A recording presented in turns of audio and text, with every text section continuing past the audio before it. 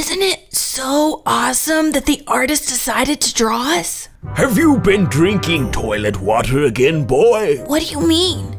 There isn't one stroke of evidence to prove the existence of an artist. Dude, I am the evidence that there is an artist, and so are you. Oh, confounded, your mind is like a full diaper. Look around yourself.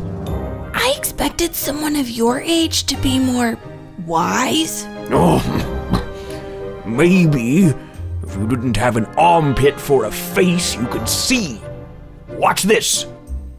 O thou artist, ifeth thou existeth, revealeth thyself, draweth something so that we mightst beholdeth it.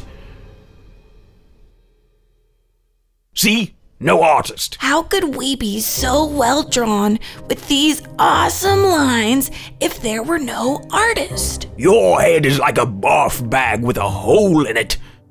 If you had studied at the citadel of the mashed potato as I have, then you would know we are not beautiful lines.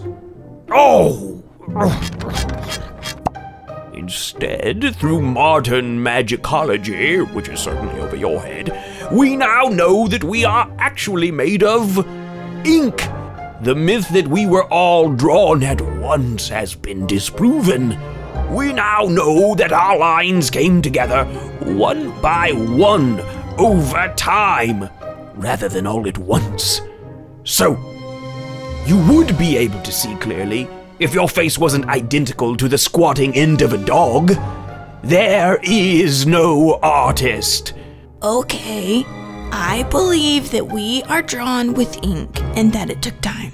Ah ha ha ha! Well played, boy. Glad to know that you understand finally that there is no artist.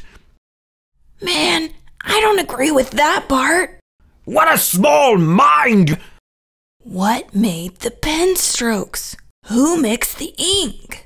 It's just like you imbeciles to get religious.